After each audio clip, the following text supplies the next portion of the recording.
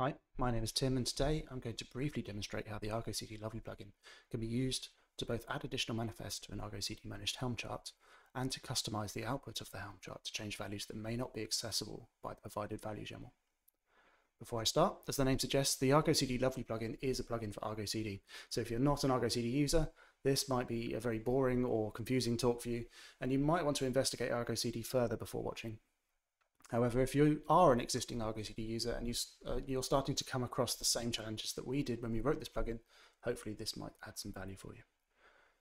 You can find more information about the Argo CD Lovely plugin by visiting the GitHub repo shown on the screen, and everything I'm going to do today is available through that repo. So let's briefly look at the problem that we're trying to solve today.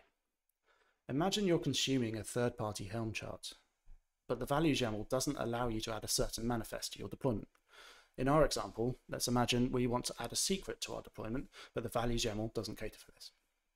Using Argo CD natively, the two standard ways of deploying any additional manifest to a Helm chart are to add a templates directory within the Helm chart and add your manifest in there. But in my opinion, that quickly becomes messy if you want to add a large number of manifests. Um, they're all just hidden inside that, that template file. And therefore, from an Argo CD user point of view, it's hard to read. The other option is to create a separate Argo CD application containing those additional manifests. This is tidier in the sense that it looks nicer in your Git repo, but messier in the fact that you're now relying on two individual applications for one resulting application in your, in your cluster. Using the Argo CD Lovely plugin, we can simply place the additional manifests anywhere in the application directory Personally, I prefer to create a chart directory for my chart and then another directory for the manifests, and you can obviously have subdirectories below that. And that's what I'll demo today. But that particular structure is just for human readability. It's not required, so you can manage it however you want to for your own personal needs. The second problem we want to look at today is quite similar. Imagine consuming a third-party Helm chart that almost but not quite produces the manifest that you desire you might want to patch in some changes over the top of the manifest that the Helm chart produces. The Argo CD documentation explains how you can create your own custom plugin to allow you to Kustomize a Helm chart, but that's quite clunky and you end up with an Argo CD plugin that only does one thing. The Argo CD Lovely plugin will Kustomize your Helm chart output out of the box. You simply add a blank kustomization YAML into the directory containing your chart and then reference any patches as appropriate. If you want to play along at home, we provided a simple Argo CD installation that already bundles the Argo CD Lovely plugin into it.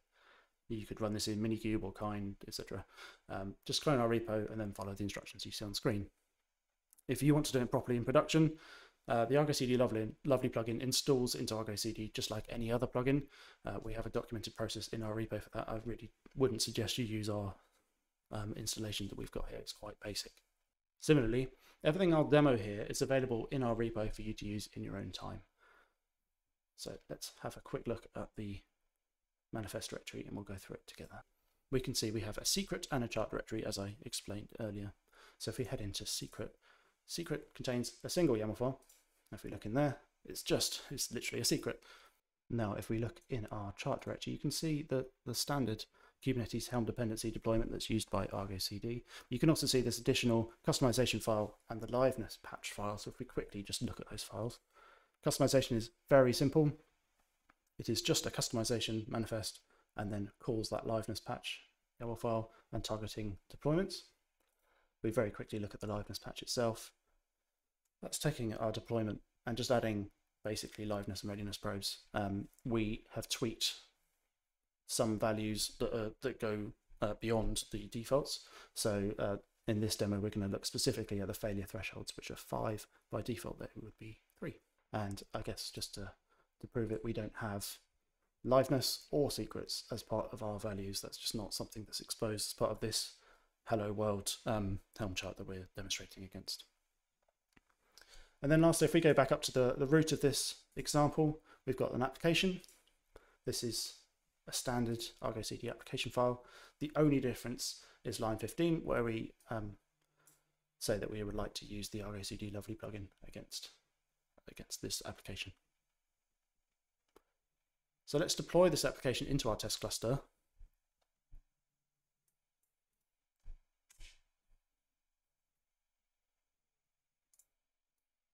And we'll just wait for everything to get deployed. That was nice and quick.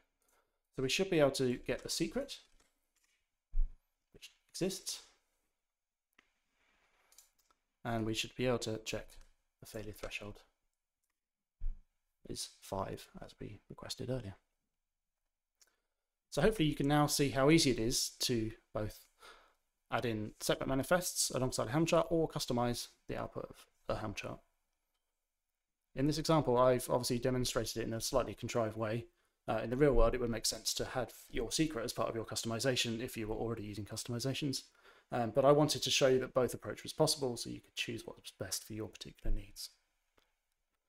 Thanks for watching.